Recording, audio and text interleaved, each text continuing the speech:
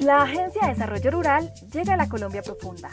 Después de un recorrido de cuatro horas en lancha desde Buenaventura, a través del Pacífico colombiano y en medio de la selva húmeda, allá en el corazón de la zona costera se encuentra Timbiquí, un tradicional pueblo pesquero donde llegamos con las mejores noticias.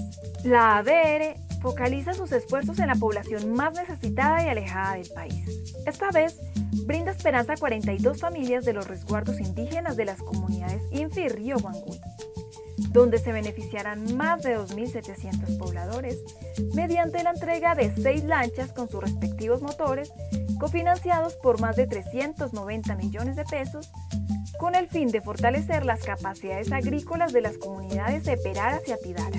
Estas familias que se encuentran localizadas a 7 horas promedio de la cabecera municipal, cuya estructura social está constituida en organizaciones familiares de trabajo agrícola, ahora podrán comercializar sus productos como papa china, plátano, yuca, ñame, caña de azúcar, entre otros, en el mercado de Timbiquí, evitando trasladarse para comprar esos mismos productos en la ciudad de Buenaventura.